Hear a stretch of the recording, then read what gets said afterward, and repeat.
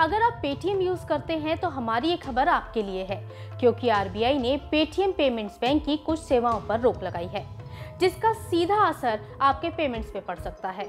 हालाँकि रोक के बावजूद कस्टमर को ट्रांसफ़र और विड्रॉल की अनुमति होगी। आपको बताते हैं कि आरबीआई ने पेटीएम के खिलाफ क्या कार्रवाई की है। आरबीआई के इस कदम से यूज़र्स पर इसका क्या असर पड़ेगा? पेटीएम में आने वाले दिनों में क्या चलेगा और क्या नहीं चलेगा?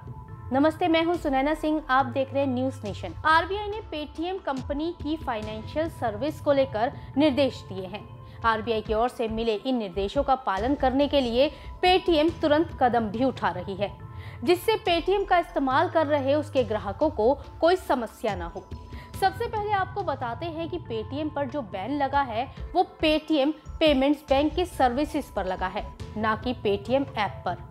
इसका मतलब है कि पेटीएम ऐप के यूज़र्स पहले की तरह ऐप की सर्विसेज़ इस्तेमाल कर सकेंगे। पेटीएम कंपनी का कहना है कि हम आरबीआई के निर्देशों का पालन करने के लिए तत्काल कदम उठा रहे हैं। इससे यूज़र्स के बचत खातों वॉलेट फास्टैग और एनसीएमसी खातों में जमा राशि पर कोई प्रभाव नहीं पड़ेगा। वहीं कस्टमर यहाँ पर उपलब्ध अपने बैलेंस का इस्तेमाल कर सकते हैं। पेटीएम पेमेंट कंपनी कई बैंकों के साथ काम कर रही है, लेकिन अब आगे चलकर कंपनी पीपीबीएल के साथ काम नहीं करेगी।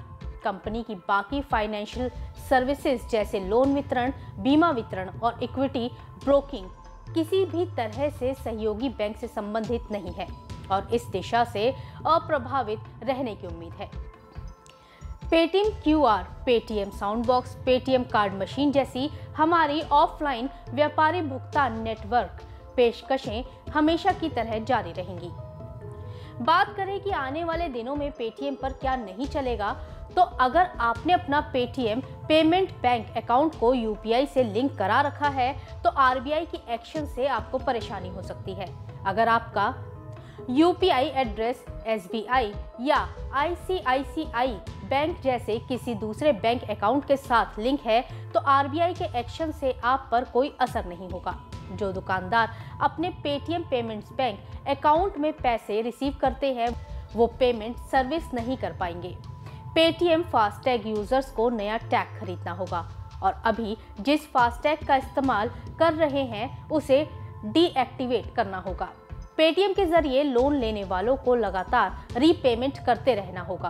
पेटीएम के मुताबिक इस महीने की उनतीस फरवरी तक ओसीएल और पेटीएम पेमेंट सर्विसेज़ लिमिटेड के नोडल खाते को खत्म कर देगी।